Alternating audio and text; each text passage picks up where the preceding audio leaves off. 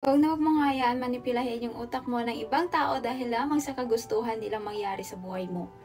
Gets mo ba yun?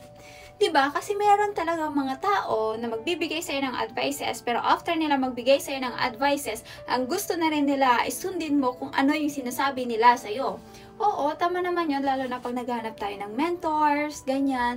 Pero kung alam naman natin na hindi na or below the belt na yung gusto nila, eh ba't pa natin sila susundin? Hindi naman siguro tayo robot. Or hindi naman siguro tayo bobo para sa ganun.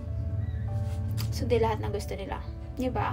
Meron naman tayo siguro free will, meron tayong utak, meron tayong isipan. Ang may bibigay lang ng mga tao sa iyo, ang iti-take lang natin, yung mga magagandang advices talaga. Eh kung sa tingin natin, mali naman talaga yung advice nila, syempre, mag-decide tayo para sa sarili natin. Kasi lahat yan magsasuffer yung consequences na mangyayari sa atin. So, ewan ko. Kung maintindihan, bahala ka na lang umintindi sa akin.